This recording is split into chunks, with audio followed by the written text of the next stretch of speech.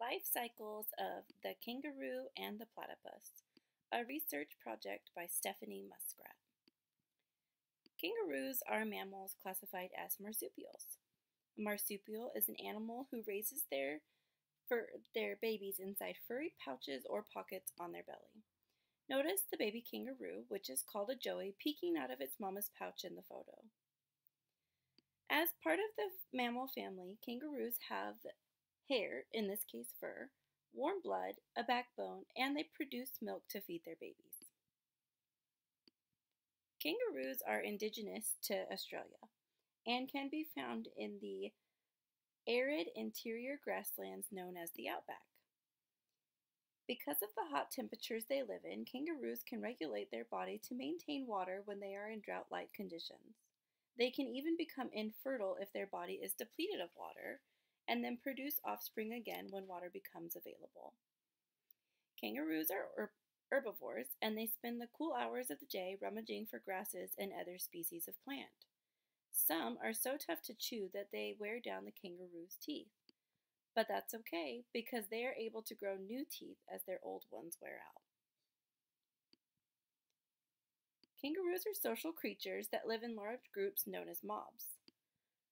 Mobs can consist of a dominant male with several females, a group of bachelor males, or a group of males and females. To attract females, males will box one another to dominate a group. Males will usually have more than one mate, but females will reject other suitors once they have mated. Kangaroos are part of a large population in fact, females can care for up to three offspring at once, all at different levels of gestation. Pregnancy lasts 31 to 36 days, then a jelly bean sized joey makes its way through the mother's fur to the pouch where it attaches to a teat and remains for a month. It stays within the gestation phase inside the pouch for 190 days and makes its first appearance outside the pouch after 10 months. Kangaroos develop from conception to fully matured in just two to three years, and they can live for 8 to 12 years in the wild. Author Sue Whiting asks, What has a bill like a duck, a tail like a beaver, and walks low to the ground like a reptile? The answer? The most bizarre creature, the platypus, which is classified as a mammal of the subgroup Monotreme, meaning that they're egg laying. Like the kangaroo, the platypus is indigenous to Australia. As a semi aquatic mammal, it spends most of its life swimming in cool bodies of fresh water where it hunts for its food.